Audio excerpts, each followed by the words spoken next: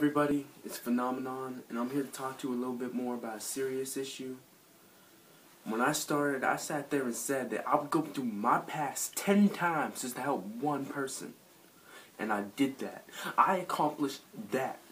When I started, I sat there and said I would do my best to inspire thousands upon thousands and make a difference. And locally, I've done that. Around my peers, the people who used to make fun of me, now they look up to me. That's a great accomplishment in my eyes. I've earned a lot of people's respect.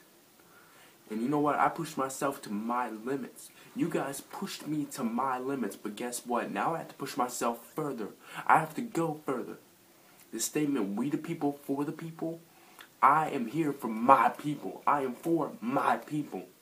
The people who will back me up, I'm there for you 100%. You know this. I know this. I've took time out of my day countlessly just to be able to help you, to take the time to help you with what you're going through.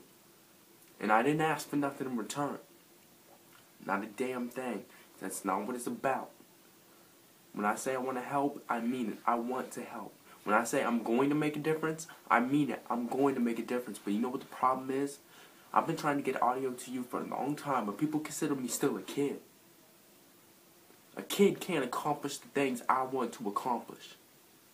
I'm smart. I'm more than a kid. I'm very intellectual.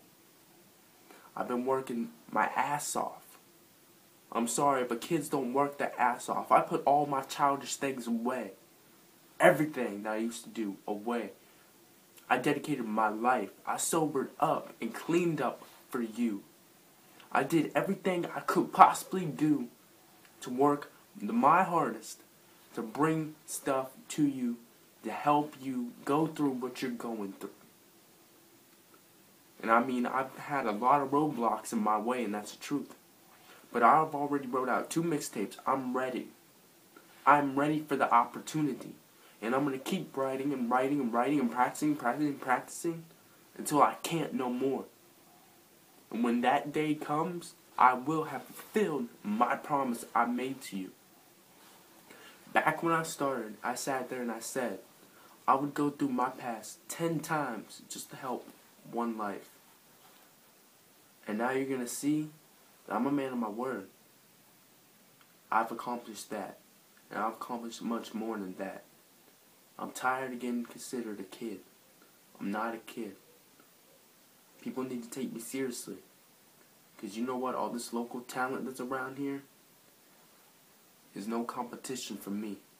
And that's a promise. Thank you, everybody. I met Vince in the middle of my freshman year in high school. I was kind of moody and stuff, and then I met him, and then he was very inspirational, telling me everything he's been through and how back up, and how he's getting to or getting to his dream, and how he's not giving up. And he's the only person I know that's actually following, following through with it and